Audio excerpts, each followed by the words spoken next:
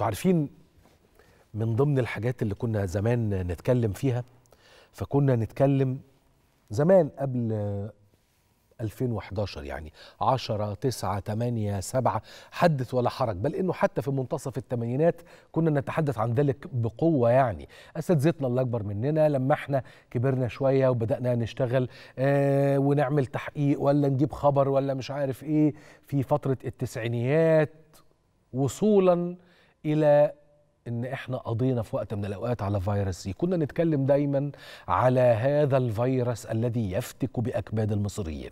كنا نتحدث دايما ونتكلم وننشر قدر استطاعتنا إنه يا ترى هل ترى هو كلى المصريين عاملة إيه؟ الكلى باللغة العربية كلى عاملة إيه؟ ويا ترى فيها إيه؟ والناس بتعاني إزاي؟ وحجم المعاناة بيتم إزاي؟ وعلى ما يبدو أنه لقب غنيم هو لقب لأولئك الناس اللي عايزين يرفعوا عن كاهل عشرات الآلاف هذه المعاناة. بدأها الأول الدكتور العظيم الدكتور محمد غنيم بمركز الكلى في المنصورة وعام قطع مشوار عظيم لأجل صحة المصريين. خد بالك.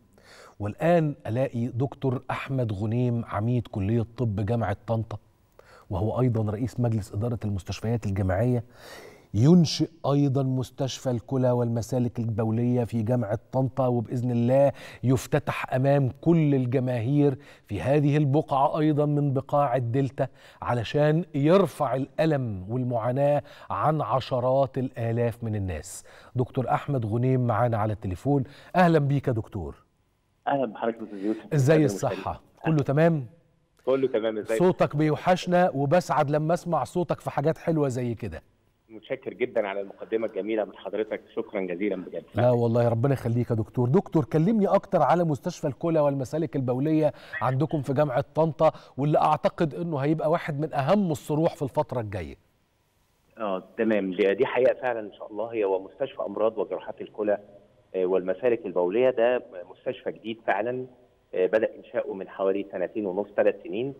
آه، هو مبني المستشفى فعلا معمول على أحدث النظم الحديثة مبني على حوالي 900 متر آه، في بيتكون المبنى من دور أرضي وخمس طوابق أو خمس أدوار وبدروم. والحقيقة الدور ال- يعني في دورين كاملين حوالي 40 جهاز آه، غسيل كلوي آه، معمولين بنظام آه، يعني آه، خدمات طبية وتنظيق عالية جدا لخدمة طبعا قطاع كبير من المرضى. آه، الغسيل الكلوي في محافظات مصر الدلتا يمكن الغربيه والمنوفيه وكفر الشيخ وكمان الم- ال- المستشفى مجهز بغرفتين عمليات مخصصين لزراعة الكلى عناية مركزة وحوالي 14 سرير. آه، زي ما قلت لحضرتك 40 سرير غسيل كلوي. آه، في مع- معمل أبحاث مخصص للتيشو تايبنج ولزراعة الأنسجة. المستشفى كمان مجهزة بوحدة لل robotic surgery مجهزة لجراحات الروبوت. يمكن جراحات المسالك في الروبوت عندنا أكثر من طبيب آه، من الشباب ولادنا في جامعة طنطا. تم اكثرهم من الخارج لأمريكا وكوريا واليابان تعلموا على ده. آه، الحقيقة برضو ثمان غرف عمليات معمولين بكبسولات آه، على أحدث مستوى. يمكن المستشفى بيضم مبنيين ينضم ليهم مبنى آخر خاص بالإقامة الداخلية حوالي 100 سرير. فريق عمل كبير جدا. قسم جراحة المسالك البولية فيه أساتذة آه، يعني على قدر كبير من العلم. إحنا بنسميهم مخضرمين في التخصص ده. وزي ما حضرتك قلت إن كلى الم... يعني أمراض الكلى وبالذات في وسط دلتا محتاجة اهتمام. طبعا. يمكن ده مركز فعلا. وزي ما حضرتك قلت طبعا أنا لا يعني يعني لا أرقى طبعا زي أستاذ العالم الجليل الدكتور محمد غليم ولكن عندنا أساتذة وعلماء كثيره في جامعة طنطا.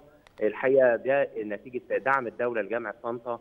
وده وده دعم يمكن من توجهات فخامة الرئيس الاهتمام بصحة المواطن المصري إن جامعه طنطا يكون لها الحظ إنها تنشئ مثل هذا المركز. وكمان دعم وزارة التعليم العالي. ويعني الحقيقة إحنا شاركنا حاليا ما زلنا إن شاء الله في طور افتتاح وحدة الغسيل الكلوي وفي إطار افتتاح العنايه المركزة وغرف العمليات وغرف الإقامة. معمل تحليل على أعلى مستوى. يعني كلام طويل جدا مش عايز أرهق الناس بيه. لكن بالعكس. هو فعلا سيكون شرح إن شاء الله وسط الدلتا آه، شرح عالمي بإذن الله.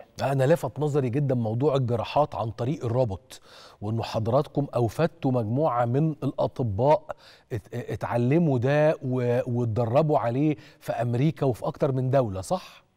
آه ده كلام مظبوط. والحقيقة يمكن آه، لما إحنا حتى كده بنختار الأجهزة وكده استفدنا بأولادنا ال- المبعوثين اللي بره.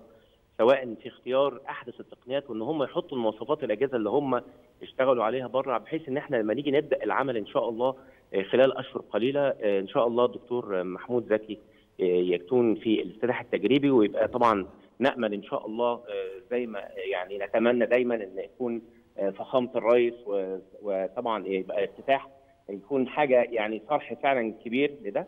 الحقيقة آه، ولادنا دول آه، في زي ما قلت لحضرتك robotic surgery والميزة كمان إن الروبوت آه، بي- بي- بينضم له تخصصات ثانية زي جراحات الجهاز الهضمي وجراحات وبيفيد في طبعا في جراحات آه، زرع الكلى وإزالة الأورام من أكثر الحاجات المتقدمة آه، في الروبوتك سيرجري أو ليها استخدامات هي جراحات المسالك البولية. آه، زي ما حضرتك أنا مش عارف أشكرك إزاي يا دكتور على المداخلة وعلى هذا الجهد الرائع والعظيم اللي بتبذلوه لأجل صحة المصريين. كل الشكر دكتور أحمد غنيم عميد كلية الطب بجامعة طنطا ورئيس مجلس إدارة المستشفيات الجامعيه